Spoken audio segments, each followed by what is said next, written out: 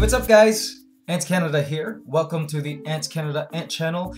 And as usual, it's a late upload. I'm so sorry guys. I've been super busy answering all of your awesome, awesome emails, fulfilling your orders, also coordinating the GAN project, which is really great because people are selling ants and buying ants and it's just all of this ant goodness just circulating all around and it does take time but I love doing it and thank you for watching another video. So for this week's video I wanted to do a Q&A video. Haven't done one of these for a long time. A lot of you guys have been emailing me with some great great emails and I just wanted to create a video to answer some of them because a lot of the questions sometimes are repetitive which is fine because I don't mind taking the time to answer your great emails and help you guys out with your ant keeping experience. Okay, our first question comes from Chase Thomas.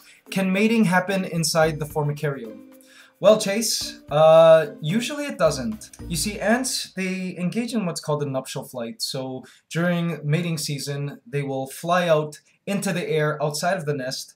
Um, and I'm talking about the alates, of course, the virgin males and queens and they mate far away from the nest actually. Mating generally happens away from the nest and one of the reasons why I know this is because I once found a mating flight about to happen, like a swarm happening on location at the nest. And I collected some queens nearby, you know, that had broken off their wings and that sort of thing. And turns out all 20 of the queens were infertile. They were not fertilized, they ended up dying. Um, and uh, it was quite the disappointment. And I had heard from a biologist friend of mine that queens and males generally mate far away from the nest. So if ever you do see a nuptial flight swarm happening right at the location of a nest, I recommend that you guys kind of walk a block away or something because usually that's where the mating happens. And actually this is great um, for the ants because it means that there's less inbreeding going on and greater chance of uh, breeding, you know, uh, of siblings not mating with each other but mating with unrelated uh, queens and males. So to answer your question, mating usually doesn't happen inside the formicarium. It's said that Myrmica possibly mate inside the nest. Um, this is all speculation though. I don't think there's any proof of that.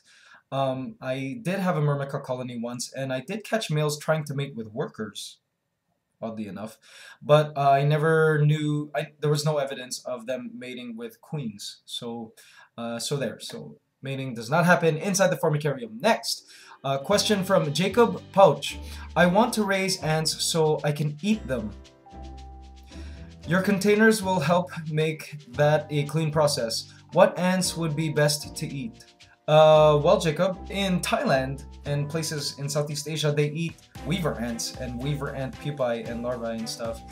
Um, but I know that you are from North America because I saw you post in our Facebook group. So, and I know you're from Canada, great. Um, I would recommend probably a really hardy and large uh, species of ant. I would say any carpenter ants, so Camponotus ants would be a great choice, but just to note, they do take a while to get started. I would say about two years until they get to the size where you can harvest like a handful every day.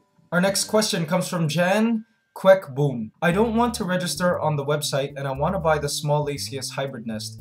Can you give me the number from the bank where I must pay the money to? Uh, well, Jan, uh, unfortunately, we only accept PayPal payment because it's secure that way. Even if you don't have a PayPal account, you can still pay by credit card through the website. And all of that is securely through our antscanada.com website. We get thousands and thousands of orders and we won't scam you. Um, the website is secure, so please order from the website with your credit card or PayPal account. Okay, question number four comes from Benjamin Nelland. I would like to participate in the GAN project as I have noticed that there are no people in the Northern Territory that participate in the GAN project. Wow, that's awesome. Northwest Territories? That's awesome. I can't believe there are ant keepers there. Um, okay, the requirements for joining our GAN team. Uh, oh, for those of you guys who don't know what the GAN project is, it's basically an initiative worldwide where we make it possible for ant keepers to sell and colonies to people in their city. So then there's no shipment of ants, there's no illegal transport or import of ants. And hey, if you are an ant keeper, why not make some extra cash uh, doing what you love, right? And a lot of our Gan farmers are making some good money selling um, their ants. And a lot of people in the cities where our Gan farmers exist are totally happy because they're able to purchase ants in case they cannot catch queens themselves. Okay, so here are the requirements to join the GAN team uh, to become a GAN farmer in your city. You must be 18 years or older, um, and if you're a minor, this venture needs to be a joint venture between you and your parent or guardian, um, and they will need to fill out the application for you and send us all required info, including uh, phone number, email, scan of proof of ID, address, etc. So if you're under 18, you'll need your parents' uh, help and collaborative efforts.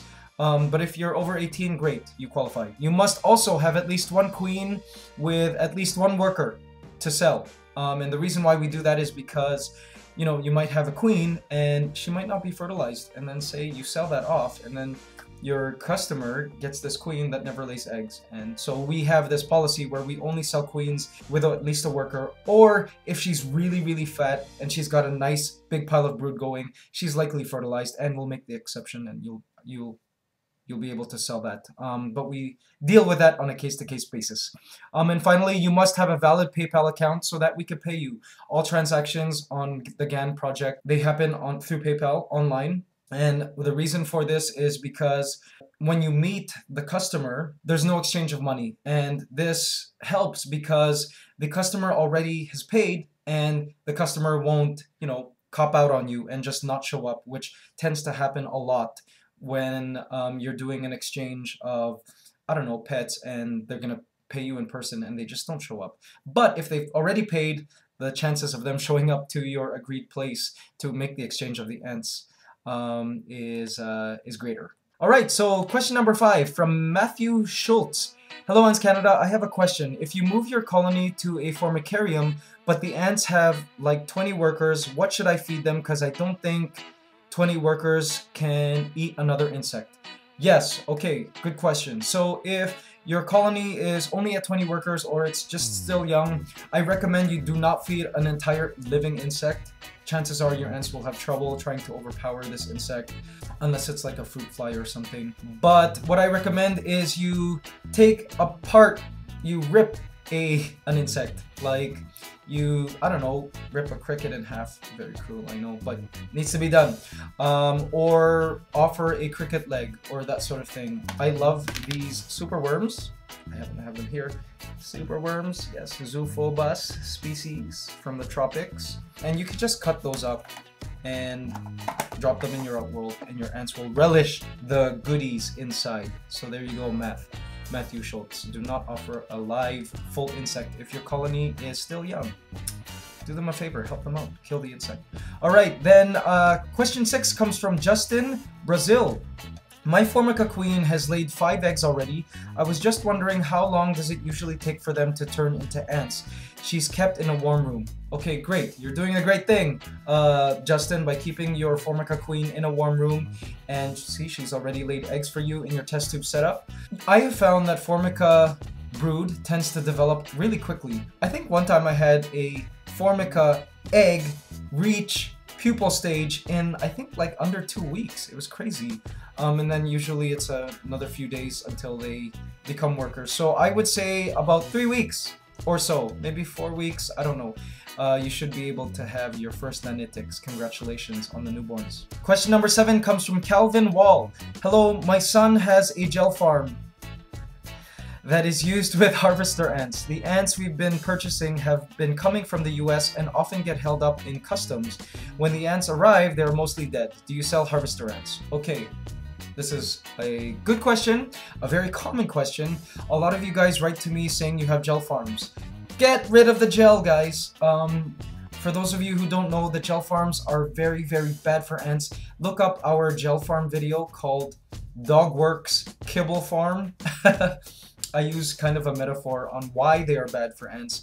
Um, and then essentially, they are bad for ants because they don't have what's needed to sustain a full colony. Um, the gel contains electrolytes which power the workers um, and it keeps the workers alive enough to be able to make to dig and create tunnels. Um, it's a very bad product because, well, it just it, it, doesn't give the ants the nutrients they need. They need protein as well, um, and a whole bunch of other vitamins. And also, it's just not natural for ants to eat what they're living in, right?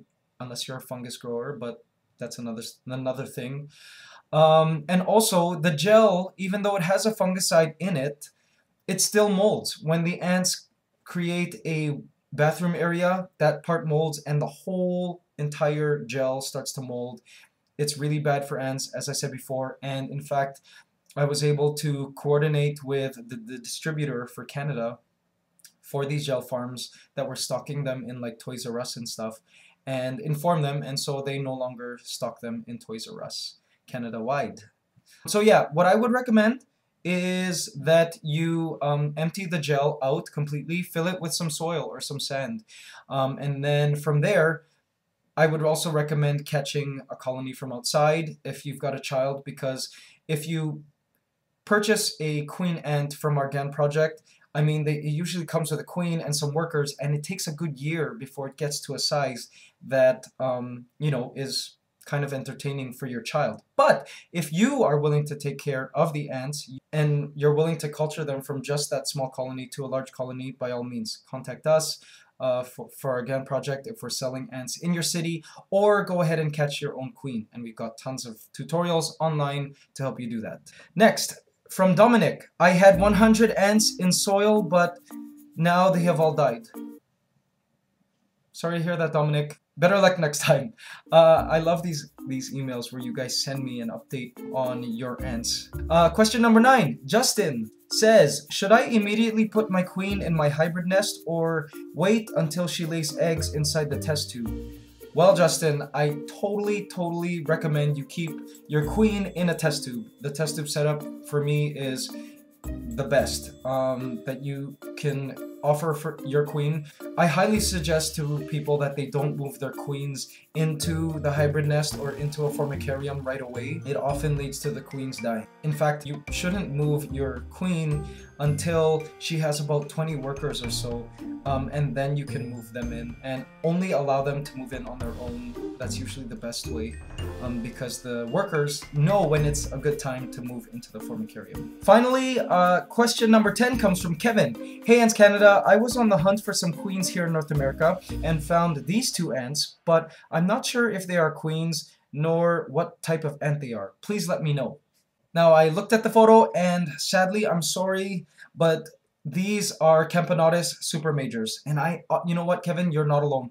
The, I get tons of these emails, and 80% of the time they are Camponotus super majors. The problem with Camponotus is the super majors, the larger workers, look very similar to the queen ants. I mean, they're they can often be the same size or even larger.